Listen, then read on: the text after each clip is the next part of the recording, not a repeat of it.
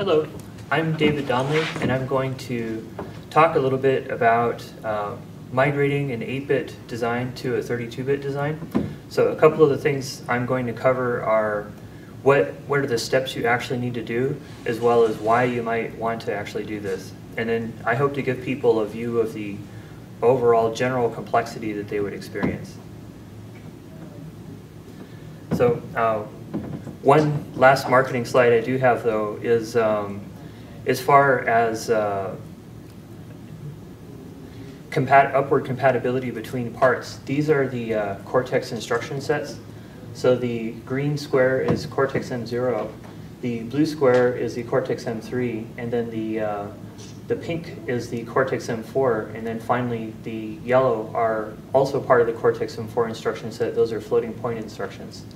So if you if you do have a design uh, and you do migrate it to the lowest end cortex part, which is the M0, then you will have a, upward migration path among all the other ARM Cortex families because they all include the M0 instruction set.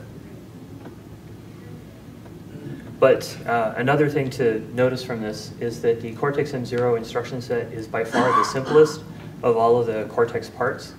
And that is why the Cortex M0 is kind of the, the candidate. If you were looking to migrate from 8-bit to 32-bit, this is the one to start with because it is the simplest part. So as I go through and uh, discuss each aspect of the migration, I'm going to, um, like Amit mentioned, I'm going to talk about code density, performance, power, pricing, and the migration path. So that, that sort of finished off a little bit about the migration path. I'll talk about it later when we get to tools. The first device that we're going to migrate is a CANopen relay driver. So this is a, it's a very simple device. It has a CAN interface on it. Um, we designed it with a PIC18F4585. There's a 5 volt regulator on board, and then there's also a ULN 2803 Darlington driver. So it's, um, it's a very simple device that can drive eight relays from a CAN bus. A little bit about the features of the 8-bit part that it's we designed it with first. Um, this part we're looking at has 48K of flash, 3K of RAM. It has 1K of EEPROM, a CAN controller. Um, there's an internal RC, which for people designing CAN, the internal RC is not usually very important because it's not accurate enough to drive the CAN network um, depending on the speed you're going. But in this case, it's 10%, so it's definitely not accurate enough. This part, um, it's a 40-pin part with 36 I.O. pins, and it, it also has a 10-bit A to D, and there's um, one combined I squared C and SPI port, and there's one UART on board. So those are kind of just general purpose 8-bit microcontroller features except for the CAN controller. Uh, and then as far as benchmarks go, I'll talk about this a little bit later, but this one runs at about 1.5 uh, iterations per second with the CoreMark benchmark. So we're going to look at migrating the design to an NXP 11C24, which is a part that has, it's a 32-bit part. A lot of the peripherals are similar. It's got 32K of flash instead of 48K of flash. Um, it has a CAN 2.0B controller, it also has a transceiver on chip. Um, the internal oscillator is 1%, which may be accurate enough to drive CAN if you're running the CAN at a lower speed. If you run it at a full 1 megabit, this internal oscillator is still not accurate enough. You'll need to use an external crystal. So, I mean, that, that's kind of more of a system level design thing, but a lot of times when you design things with CAN, you need to have a quarter percent accuracy in your oscillator. So roughly the same speed megahertz wise. It's not like twice as fast or anything. Um, it also has 10-bit uh, A to D channels. It has a few more serial channels. It's got two SPIs and then a separate I squared C plus a UART, so it has four serial channels instead of two. Uh, but the main difference between this and the, the 8-bit part is the performance that you can get from the CPU, which affects a lot of aspects of the system, including power. So the performance, instead of getting about 1.5 iterations per second of CoreMark, it'll do closer to 51 iterations per second. So some people might be asking the question, if we already have a design that works with the 8-bit part, why would we migrate to a 32-bit part?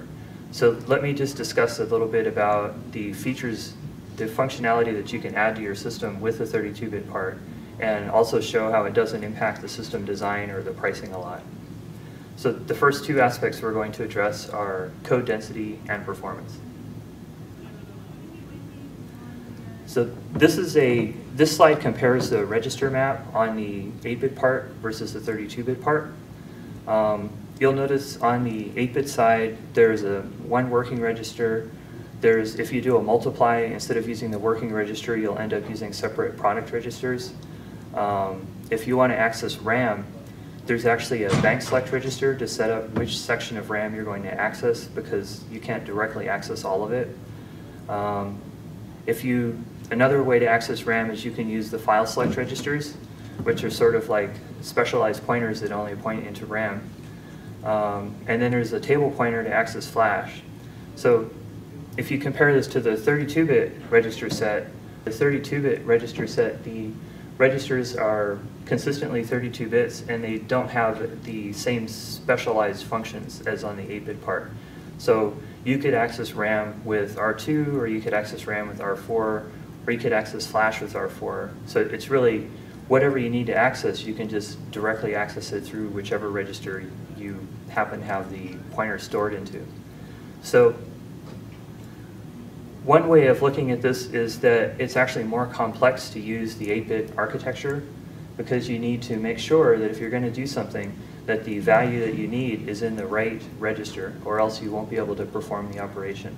So there's a lot of uh, extra instructions that need to be added to move things to different registers. So I have some specific examples of you write code in C and compile it and what kind of results you get, and a lot of that is because of this difference between the register sets. This is the, the first example I have, which is, um, it's basically copying 16-bit values um, out of one structure into another. So two 16-bit values are copied. And as you can see, on the left-hand side, that's actually the code that is generated by the um, MPLAB C18 compiler. In that case, the optimizer is turned on on both sides. And then on the right-hand side, this is code that's generated by NXP's LPCXpresso tool, which uses the free GCC compiler. Um, many, many instructions are required. Uh, a lot of what they're doing is pointer arithmetic to access the data records because the, the addressing modes and the registers are not present in the 8-bit architecture to be able to do it directly. Because the data must be accessed 8 bits at a time, when it's copied, you have to do all the copies twice because I'm doing 16-bit uh, data operations. So as you can see, so many more instructions are required. This has an impact both on the speed of the system operation as well as on the code size and it also affects the power consumption because the system has to run at a higher clock speed to be able to execute all these instructions in the time that you need. Here is a, another example, which is uh, actually a 32-bit multiply. So this simple line of C code at the top, the P equals M1 star M2, generates all of this assembly code. Um, to be completely fair, the two columns of it are actually a function so that will get reused. But the first column is actually the setup to call the multiply function, and that'll be generated every time you multiply two 32-bit values together. So again, if you look at the code for the M0, there's two loads to set up for the instruction in, in the case that the data is not already in the registers. And then there's a single uh, one clock cycle instruction to do the multiply and then another store. So I actually forced the loads and stores by making the variables volatile. Uh, in a lot of applications, you wouldn't necessarily have those instructions because the data would already be present in registers. Um, oh, and so one other thing to point out, the on the 8-bit side, the instructions take either four clock cycles or eight clock cycles. So there's more instructions, and then each instruction takes more clocks. On the 32-bit side, the instructions are either two, uh, one, two, or three clock cycles. Actually, they're either one or two. There's no three clock cycle instructions here. This is an example that is more, more in line with, uh, it's more favorable to 8-bit comparison, and that's actually setting and clearing bits of I.O. So a lot of 8-bit architectures have uh, bit set and bit clear instructions, and typically 32-bit architectures don't have that. So in this case, um, on the Cortex M0 parts from NXP, we've added uh, bit set and bit clear uh, registers and bit masking registers, so you can do a single store to a port to set or clear bits. So it ends up with the same number of instructions to do this particular operation, which is good news. But on the other hand, the instructions still take longer to execute. The 8-bit instructions are, there's um, two 4 clock instructions and one 8 clock instruction for this. And then on the 32-bit side, there's two 2 clock instructions and then one 3 clock instruction. So just to point out, um, the architecture of the core, why it may not seem very important, especially if you're writing code in C, could really impact the efficiency of the system. And this will affect your power consumption and the flash utilization. So one of the things that I use to demonstrate flash usage is uh, CoreMark. This is a benchmark by the EEMBC Consortium that does, um, they, they're kind of industry standard benchmarks that compile on a wide range of processors. CoreMark just focuses on the CPU core, and this is something that anybody can go and download the code and port it to a part and test it out, which is one of the reasons why I wanted to use it, because it, it is something that everybody has access to, and it's also, um, you know, it's maintained by an organization, so there's a consistent version of it that people are supposed to use. So CoreMark does linked list operations. It does uh, matrix operations, so it does 16 and 32-bit integer math on tables of numbers.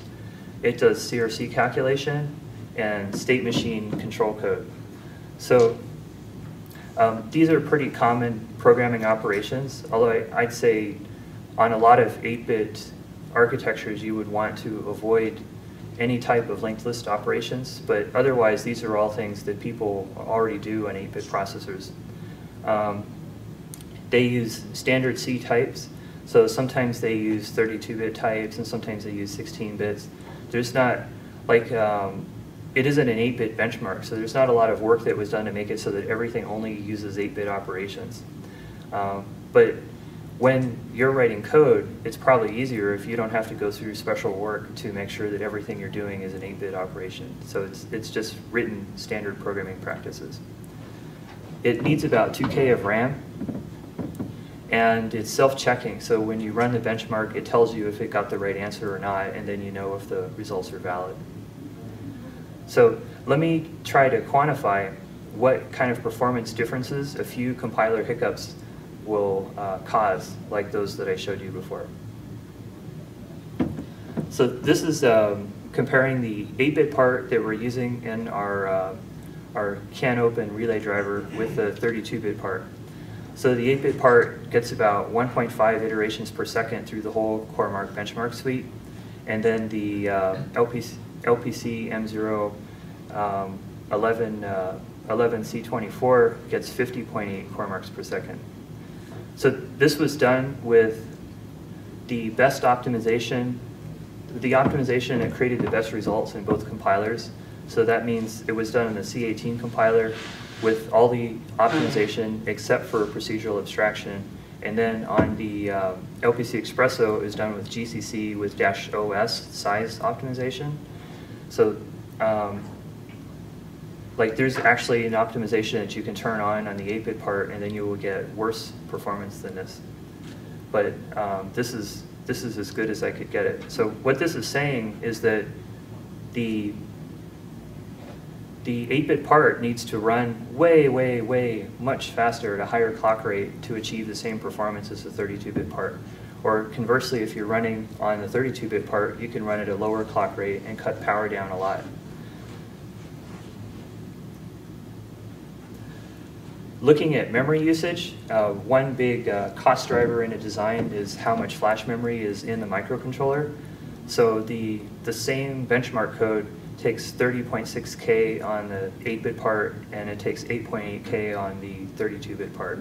So if you're doing your design today and you're using a 48K part, which is our example part, uh, then you could definitely move down to a 32K or maybe even a 16K part if you move, move to the 32-bit part um, on this particular architecture.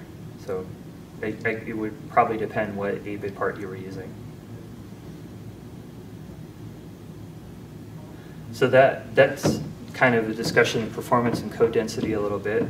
Let me talk about uh, power advantages. So if you're using an 8-bit part, maybe you're using a part that's in a slightly older process running at 5 volts, um, you'll typically find that the inefficiency of the part, if you run a part at a similar clock frequency, you'll generally find it draws more power. So this 8-bit part draws 23 milliamps, uh, that's datasheet typical current, and that's running at 40 megahertz. And the 11C24, when running at 48 megahertz, the typical is 7 milliamps. So you save 70% of the current, and you haven't even started optimizing it or using any sleep modes or anything like that. So partially this is because the uh, a lot of the 32-bit parts are done in newer processes, so they, they're just more efficient. And then part of it is because there's a lot of design work that NXP puts in, in uh, as far as power management uh, for clock gating peripherals and stuff like that to save power. So deep power down current is also lower. Um, on the uh, 11C24, the deep power down is 22 milliamps, where on the this PIC 18 4585, it's 0.22 uh, microamps, whereas it's 0.5 microamps on the PIC 18. There's an additional mode, deep sleep, that the NXP part has that the 8-bit uh, part does not have, so there's more options in the system design. As you can see, run power at maximum speed is much less. Given the increase in performance, the speed could be reduced further. So instead of running off of the PLL, um, maybe you could run directly off the crystal.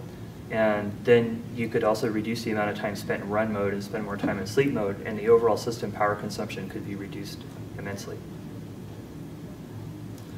So to do the actual migration, the first thing we have to do is the, the 8-bit part that we were using is a 5 volt part and the 11C24 is a 3.3 volt uh, core part. So we needed to add a, an additional regulator to the design. Um, in this case, we chose a regulator from a SOT23 package. It's, it's very, very small and the cost is low. And we added it to our design. So this is actually the new schematic for the 32-bit design there's not a huge difference from aside from this additional regulator. Um, sometimes people think, oh, if I move from 8-bit to 32-bit, I'll have to, you know, completely restructure the way the system is architected, and there'll be a lot of work. But it, it's it's mainly in just an effort of a lot of our 32-bit micros are they're very embedded. They include their own reset controllers and regulators internally, so there's not a lot of extra that has to be done in the design. One thing that has to be done is the, the pins, the pinout changes on the part. So the, the Darlington drivers, which are connected to port D on the PIC design, we ended up moving them on the uh, LPC11C24. We moved them over to port 2. So in addition to moving the Darlington drivers, we're able to remove the CAN transceiver because this 32-bit part has a CAN transceiver built in.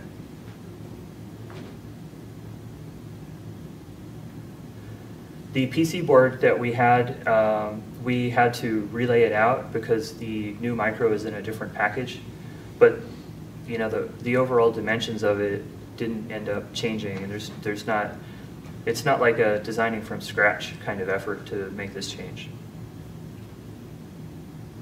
There's a little bit of board space that is saved because the, the package that we're using in the 11C24 is smaller than the, uh, the the QFP package that with the PIC18 was in. So now this is actually one of the bigger parts of the migration that I'll talk about, which is the software migration task. So one of the things that really helps with this is the libraries that NXP provides. So uh, probably if you're new to 32-bit processors and you haven't used any of the development tools, one development tool you would consider would be LPCXpresso. LPC Expresso is an Eclipse-based IDE, and it also is uh, refers to a set of development boards that uh, work with NXP processors. So the, the entire thing together is called LPCXpresso.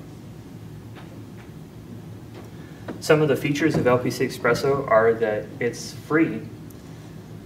Um, it's a free IDE. The, it includes a GCC compiler with optimization that doesn't expire. Um, there's project templates for all of the NXP ARM parts. So if you create a new project, you can pick the part and then you'll get a, you'll get a simple template project that you can compile and download immediately. Um, also included with LPCXpresso are CMSIS libraries and C libraries. So CMSIS libraries are the processor header files, um, and then the C library uh, implements things like printf or scanf, which those can also be run in LPCXpresso.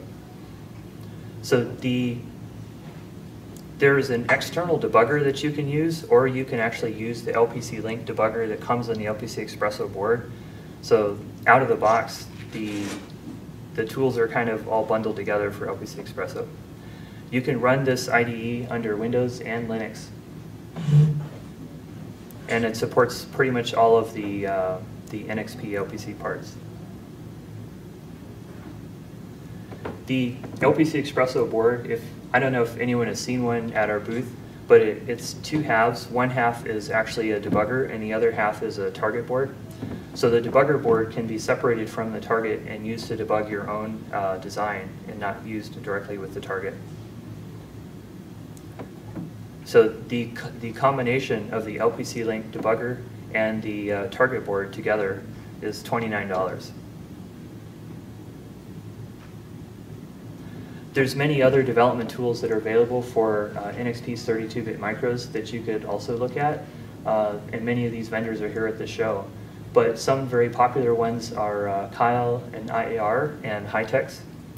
So they have uh, IDEs as well, and they, they have uh, features like C++ compilers and, and so forth that aren't in the free tool.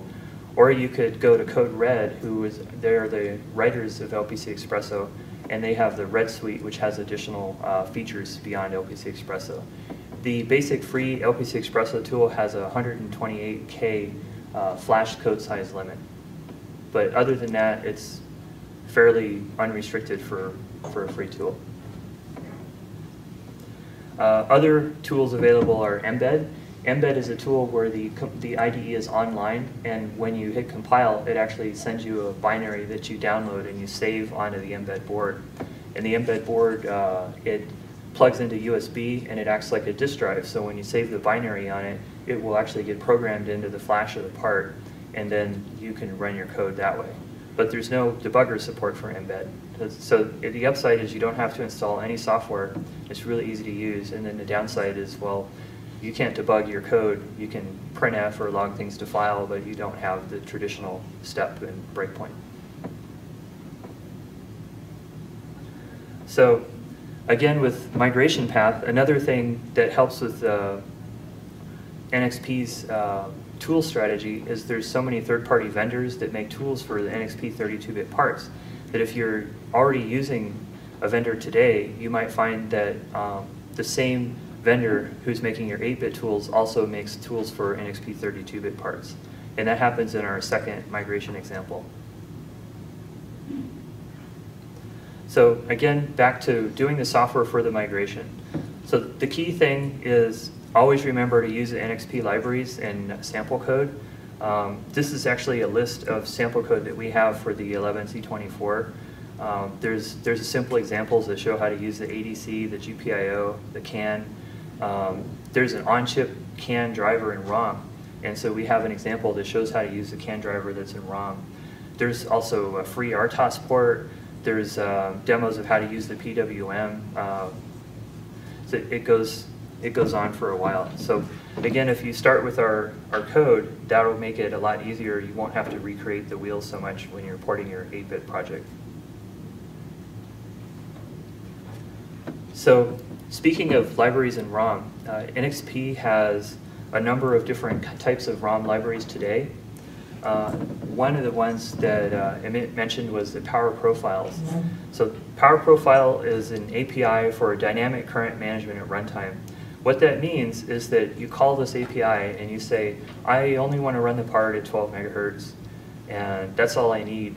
Then it will go out and configure the chip. It does uh, multiple different things to the part. It reconfigures the memory settings as well as it configures the core voltage inside of the chip uh, to reduce the run current if you don't need the full performance of the part. But if you do need the full performance, then you can call this API and you can say put it in performance mode. Uh, the run current will go up and you'll be able to get uh, faster performance on benchmarks or whatever. So, well, I mean, whatever your design is, presumably the actual design is not, not to run benchmarks. So another uh, ROM library that's handy is there is a ROM divide function that we have in the LPC 1200. So one of the things missing from Cortex M0 versus Cortex M3 and M4 is a hardware divide uh, instruction. So a lot of, all the compiler vendors implement a hardware divide and it runs at different speeds, but we have the fastest hardware divide and we put it in ROM on the LPC 1200 and you can actually, we have example code that shows how when you're doing divides, you can have the compiler use the ROM divider instead of its own divider and you'll, you'll get better performance. Uh, also, our divider has uh, consistent uh, performance so that at, um, depending on the numbers that you divide, sometimes software divide routines take different amounts of time, whereas ours has a consistent runtime, which can help make your system uh, easier to debug if it's real time. So other features in ROM include a CANopen driver. So this particular uh, part that the migration is focused on, which is the uh, LPC 11C24, that has a CAN interface on it. It also has uh, CAN drivers and CANopen drivers that are in ROM.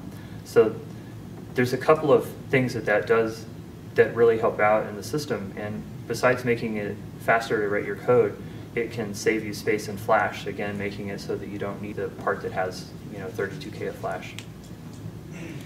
We also have USB drivers in the uh, LPC 1300 family that has USB.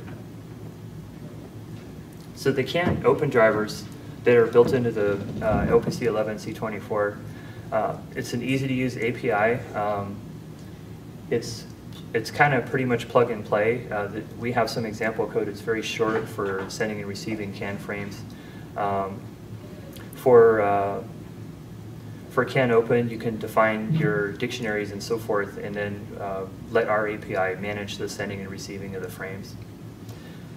We also have a, a CAN bootloader that comes on the part in ROM. So if you have a part that's unprogrammed, you can put it on a board and then program it through CAN without having to download any code to it first.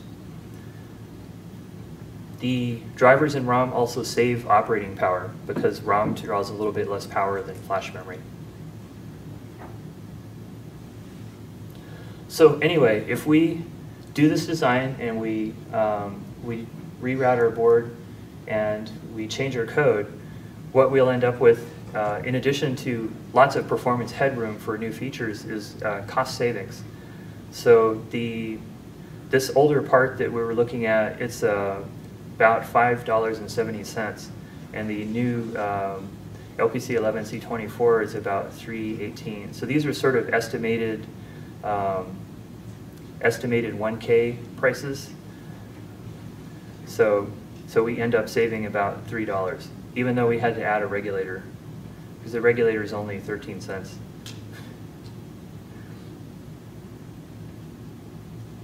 So that's the last uh, bubble on this chart, which is pricing. So there's actually, in some cases, there's a pricing advantage if you use a newer 32-bit part versus you using continuing to produce a design that has like an older 8-bit part in it. So now let me talk about the next example, which is migrating from an 8051, which is, this is based on a battery charger example, which is an NXP application node. So the application node is uh, AN10338, which is available to everybody on the NXP website. and it implements a single, uh, simple buck converter lithium-ion battery charger. Um, This design, uh, here's the schematic for it. It takes an input of about 5 volts, and then it'll charge a, a single cell 700 to 750 milliamp hour uh, lithium-ion battery. So when we do this design, we don't actually have a large cost savings because the 32-bit part that we're looking at is the 1111. This is the 65 cent part versus the pricing on the 8051 is about 69 cents. However, if you look at the, the features that are available in the part, it would allow anyone doing this design to add many more features into the same design without having to add any, um, add a, like another microcontroller. So for instance, we start out with 2K of flash, and then the 32-bit part is 8K of flash for, you know, 4 cents less. Um, go from 256 bytes of RAM to 4K of RAM.